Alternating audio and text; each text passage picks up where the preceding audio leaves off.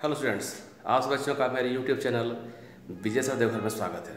चलिए आइए, आज जानते हैं कुछ रोग और उनसे प्रभावित अंग, क्योंकि ये आप कॉम्पिटिटिव एग्जामिनेशन के लिए बहुत इंपॉर्टेंट है बच्चों। तो चलिए एक बार रिवाइज करते हैं।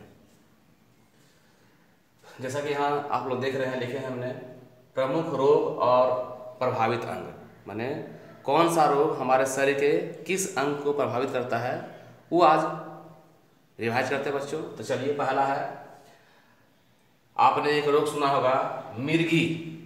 मिर्गी ये हमारे नाड़ी तंत्र को प्रभावित करता है। मिर्गी हमारे नाड़ी तंत्र को प्रभावित करता है, ध्यान रखना है। दूसरा है बच्चों रिकेट्स रिकेट्स नामक बीमारी जो है, हमारे हड्डियों, यानी कि बोन्स को प्रभावित करता है। तीसरा बच्चों अस्थमा जिसे कि हम लोग दमा भी कहते हैं। ये जो है, फेफड़े को प्रभावित करता है, किसे प्रभावित करता है? फेफड़े को। तीसरा बच्चों एक्जिमा सुने होंगे, दांत, खाज, खुजली एक्जिमा हमारे त्वचा में होने वाली बीमारी है मतलब त्वचा को प्रभावित करने वाली बीमारी है। तीसरा बच्चों, पाँच नंबर में है, डायबिटीज़, इसे हम मधुमेह कहते हैं हिंदी में। ये हमारे अग्नाशय को प्रभावित करता है बच्चों।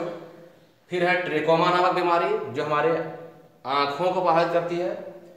फिर बच्चों निमोनिया, सुने होंगे बच्चों में होने वाली बीमारी निमोनिया, फेफड़े को प्रभावित करती है, टीबी अब तो लगभग नहीं के बराबर है, टीबी एक समय बहुत जानलेवा हुआ करती थी तो ये हमारे फेफड़े को प्रभावित करती है, पीलिया नामक बीमारी, जिसे हम जॉन्डिस भी कहते हैं, जो हमारे यकृत को प्रभावित करती है, पीलिया नामक बीमारी किस प्रभावित करती है? यकृत को, ध्यान रखिएगा, फिर है स्कर्वी जो हमारे दांत या मसूड़े को प्रभावित करती है स्कर्वी दांत या मसूड़े को प्रभावित करती है। फिर बच्चों टाइफाइड ये बीमारी जो है, आंत में होने वाली बीमारी है। मेनेजाइटिस ये हमारे मस्तिष्क, यानी कि ब्रेन को प्रभावित करती है। पायरिया तो सुने होंगे जिसमें दांत से खून आता है, वो मतलब दांत को प्रभावित करने वाला बीमारी है पायरिया। फिर बच्चों डिप्थेरिया जो हमारे गले को थ्रोट को प्रभावित करती है। फिर बच्चों, मलेरिया, ये रुधिर कोशिका, यानी कि ब्लड सेल्स को प्रभावित करती है। मलेरिया, रुधिर कोशिका, यानी कि ब्लड सेल्स को प्रभावित करती है। फिर बच्चों, मोतियाबिंद सुना ही होंगे अधिक उम्र हो जाने के बाद आँखों में होने वाली बीमारी है, जिसमें कि लेंस सादा हो जाता है, खराब हो जाता है। पेचिस, जिसे कारण धुंधला हमें दिखाई पड़ता है। पेचिस, ये हमारे आंत को प्रभावित करने वाली बीमारी है। फिर है प्लेग एक समय प्लेग भी बहुत डराया था हम लोगों को। जो चूहा से फैलता था, प्लेग, ये फेफड़े को प्रभावित करती है बच्चों, प्लेग, फेफड़े को।